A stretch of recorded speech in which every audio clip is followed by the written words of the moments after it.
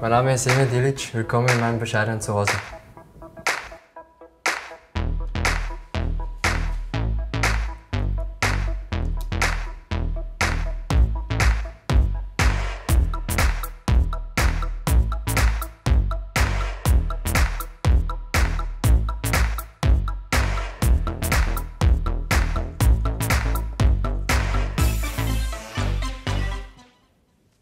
So, äh, hier sind wir in meinem, in meinem Zimmer, mein Schlafzimmer.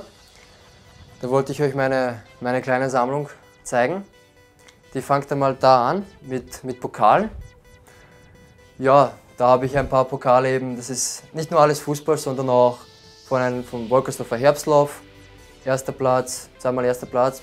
Dann vom Rapid Camp bin ich gewählt worden von, ich glaube, das waren damals 150 äh, Spieler, bin ich gewählt worden zum besten Spieler.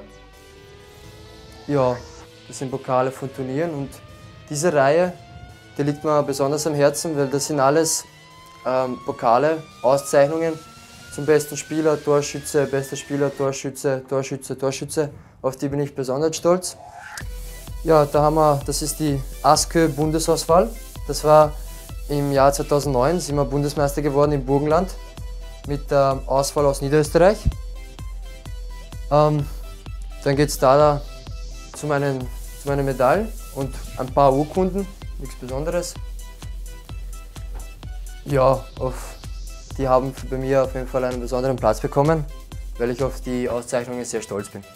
So, jetzt fahren wir von mir daheim zu, zu meinem Sportplatz. Äh, der ist ca. eineinhalb Kilometer von, mein, von meinem Haus entfernt. Ja, früher bin ich, bin ich eben nach der Schule gleich äh, dorthin gegangen oder gefahren, teilweise auch gelaufen war ein Aufwärmen quasi. Das ist, das ist, der Sportplatz hat mich auf jeden Fall geprägt, weil ich da acht Jahre lang immer gespielt habe, teilweise, also teilweise auch alleine. Ja. Jeder, jeder, jeder Spieler, sage ich mal, hat, hat seinen, seinen Sportplatz, seinen Bolzplatz, wie man das so nimmt. So, da sind wir jetzt bei mir in Tromfell auf dem Sportplatz. Ist zugleich auch ein Spielplatz. Ähm, ja, hier habe ich gleich nach der, nach der Schule, also es war Volksschule und Hauptschule, acht Jahre. War das erste, was ich gemacht habe nach der Schule, wo ich heimgekommen bin. Gleich einmal Fußballsachen geholt, umgezogen und dahergekommen. Ähm, großteils war ich alleine, also ich habe mir da selber mein Training gestaltet, da ich ja nie in einem Leistungszentrum oder in einer Akademie war. Ja, gemeinsam, gemeinsam mit meinem besten Freund, mit Dennis und auch mit anderen Freunden haben wir hier äh, Spiele absolviert, verschiedene Arten. Ja, und das, das hat auch meine Karriere geprägt auf jeden Fall, wenn man acht Jahre durchgehend hier trainiert. Äh, einfach das, wo man, wo man sich denkt, das brauche ich, dass ich ganz raufkomme. Eben äh, Schießen mit der Bahn, das war sehr hilfreich. Und Die Wochenenden verbringen wir immer entweder da oder am Sportplatz in der Nebenmannschaft. Ja, sind sehr anstrengend. Das ist für uns wie das ist für uns kein Auslaufen, das ist für uns ein zusätzliches Training. Wenn wir sich dann herstellen, eins gegen eins und auf die zwei Tore einfach losballern. Ich glaube auch, dass wir in, in 10, 20 Jahren, wenn wir dann alte Knacker sind, dass wir trotzdem herkommen werden und, und wieder spielen werden, so wie früher. Und da werden wir auch sagen, ja, früher, früher wie damals haben wir hier gespielt und abschließend zu unserer fußballischen Karriere dann. Der Emir. Also mein Emir ist auf jeden Fall immer lustig. Der Emir will nie zu Hause sitzen, der will immer irgendwas unternehmen. Ähm, der versteht einen Spaß auf jeden Fall. Wir gehen oft fort miteinander. Äh, sehr netter Mensch, höflich und sportlich halt auf jeden Fall. Ja, ich bin, ich bin ein äh, gut, erzogener, gut erzogener Mann geworden mit der Zeit. Ähm, verstehe viel Spaß,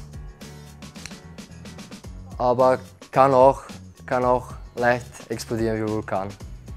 Das war früher immer so eine lustige Geschichte mit ihm, wie wir angefangen haben. Da hat er beim, beim Schießen, das werde ich immer, immer merken, da, hat er, da ist er immer ausgerutscht. Er hat nie schießen können, ohne dass er stehen bleibt. Der Trainer, der, der Joachim Spitzer, mein erster Trainer, der da gedacht, das, das gibt es ja nicht mehr. Du musst ja stehen bleiben können. Also, ja, ich versuche es, es ist nicht gegangen.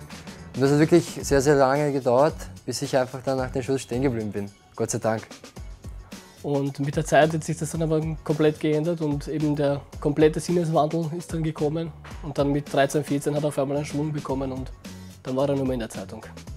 Für mich war, ich, ich habe schon, äh, ich, ich sagte Emia, Emia, du bist Profispieler und ich war auf dem äh, Spiel Horn gegen äh, Kolumbien.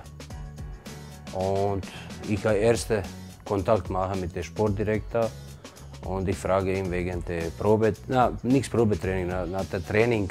Ist der mir war im Bundesjahr in Horn oben, der, der habe Lager oben. Und der Sportdirektor Herr Wichanek sagt mir, kein Problem, Herr Dilic kann der mir kommen auf Training, aber muss trainieren mit der zweiten Mannschaft. Dort habe ich anscheinend gut trainiert. Ähm, die haben mich weiterhin beobachtet. Ja, und ich kann mich noch gut erinnern, das war gegen Vösendorf in der Kabine.